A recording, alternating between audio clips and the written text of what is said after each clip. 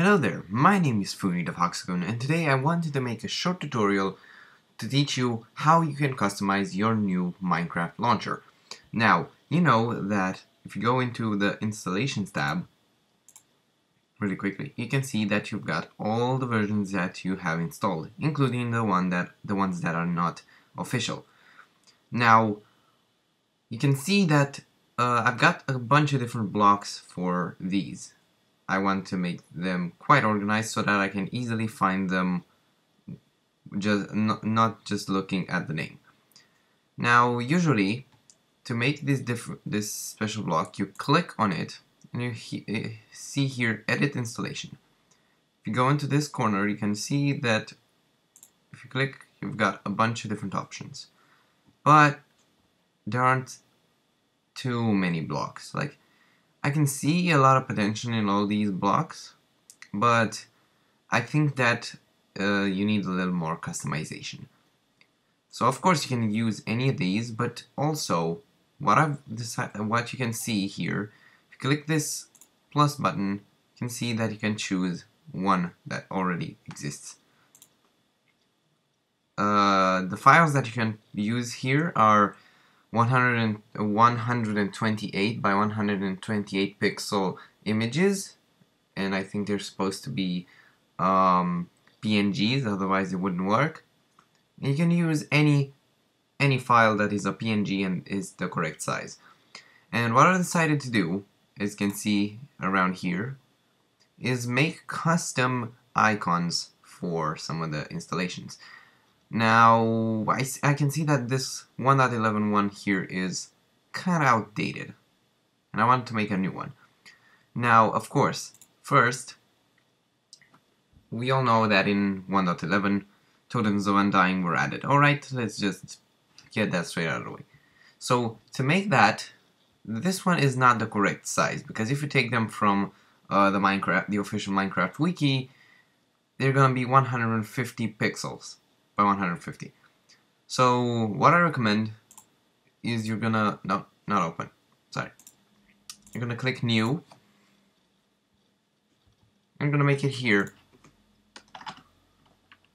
128 128 doesn't really matter anything. Just click create. Now you're gonna take your totem here of course, it's to be too big. You can get rid of the background. Align it perfectly and then Command T and size it properly. Without holding shift, of course.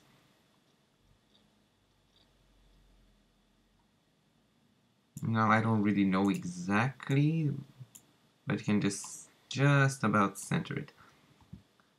Click File, Save as. I'm gonna I'm gonna save it as one one dot eleven dot PSD. Now we're gonna just just as a little fun thing. I'm just gonna save it in a special folder that I've got all of my where is it?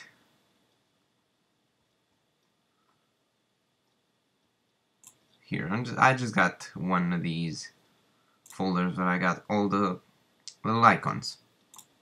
Click save. Now I did save it as a PSD. We're also gonna save it as a still here as a PNG. And then we can go into the new launcher, go here, and click select new, go to that folder that you've got. Here it is.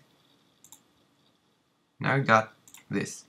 Now, to improve, to add on this um, idea, you can make custom ones which represent the certain version of Minecraft with special stuff added. Like, again, you can see here that I've got 1.7.10 Forge, added a Forge logo, then we got the fabric 1.14. You can add the fabric logo and the Optifine logo here.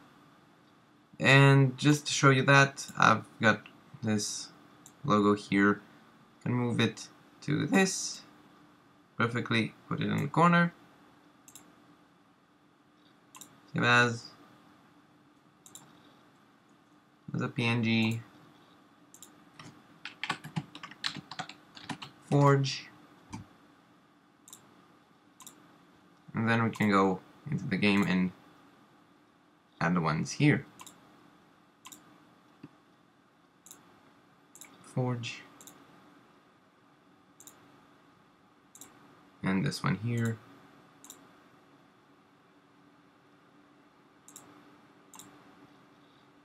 And there you go. We got the 1.11. You can see that I got here the terracotta that you can find officially. And also made a custom one for the Forge version. Used water here.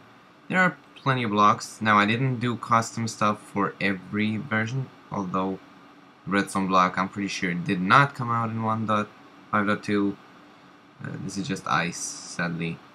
But for the Forge version I did use packed ice. You can see that I got here purple for 1.9 and also you can do fun stuff like these three right here also use the volume beta icon for the beta versions that I got installed. As you can see here I've got the love wither for the love and hugs update. The little um, what was it called? April Fools. You can see that I got the 3D here, yeah, the 3D item from Minecraft 3D. Uh, this year's April Fools and this USB charger block from the Trinity update. All three of these are April Fools, if you didn't notice already. I just uh, downloaded them from... Actually, I couldn't find this one. I actually had to uh, find it somewhere else on the on a heads. Uh, what is it called? head creator website. I had to go find it. But these two are taken, and all of the rest are taken from the Minecraft wiki. And yeah, I actually went. Also, you can see that I didn't perfect. Uh, I didn't perfect all of them. Like this is clearly bigger than this one. It's slightly different. You can see minor size differences, but yeah, that's about it. So yeah, this is it for this short. If you want to see all of the ones that I made, you can check them out here. Also made a post on Reddit, by the way, it's not important. So yeah, this is how to customize your uh, Minecraft launcher. Of course, they will show up here, exactly the same. Also, by the way, the ice, since it's a PNG, it's transparent, which is cool. I love that feature. Yeah, you can see that we have the Totem of Undying here now. So yeah, thank you guys for watching this short uh, tutorial on how to create custom icons for your new launcher. I'm not sure if it was possible in the previous launcher, but eh, it doesn't matter now because we got this new launcher. So yeah, again, thank you, uh, thank you guys for watching, and I'll see you in another video. Goodbye.